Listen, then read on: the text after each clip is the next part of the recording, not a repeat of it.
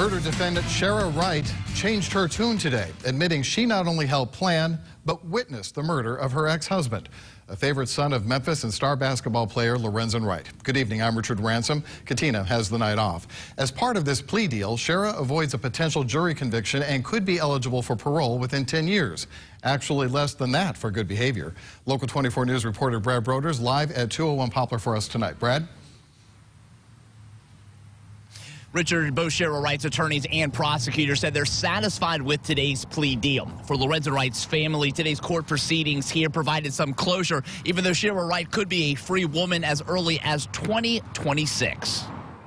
Emotions remain raw for Lorenzen Wright's grandmother. Nearly nine years to the day, someone found her grandson's body riddled with bullets in this southeast Memphis field. This is obviously a violent offense, an offense that's torn apart family. This morning, Lorenzen's family realized some justice in this nearly decade-long saga when Wright's ex-wife Sherra pleaded guilty for her role in the murder.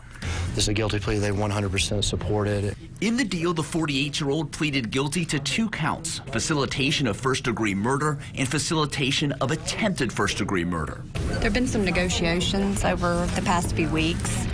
After Judge Lee Coffee sentenced Sherra to 30 years, Lorenzen Wright's mother, Deborah Marion, spoke directly to her. And I'm ready for them to come back to home with their family. That's I miss them.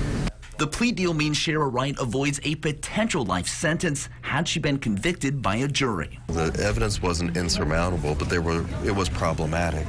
Instead, with 19 months of jail credit and good behavior in prison, Wright could be eligible for parole in a little more than seven years. Uh, the fact that this charge uh, has parole eligibility, uh, what that means is there'll be parole hearings. Doesn't mean that they'll be granted. Now it's up to the Tennessee Department of Corrections to decide which prison Sherra Wright will serve out her sentence.